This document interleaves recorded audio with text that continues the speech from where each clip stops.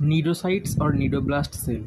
They are located throughout the epidermis of the tentacles and are lodged between or invaginated with epitheliomuscular cells of the epidermis. A cnidocyte is a rounded or an ovoid cell with a basal nucleus. One end of the cell contains a short, stiff, bristle-like process called a cnidocil.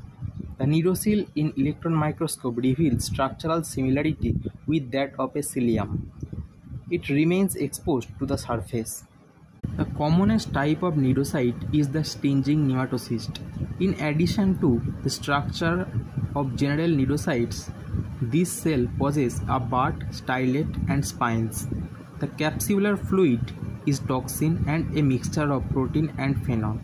Hydra possesses four types of nematocyst penetrant volvent small glutinant large glutinant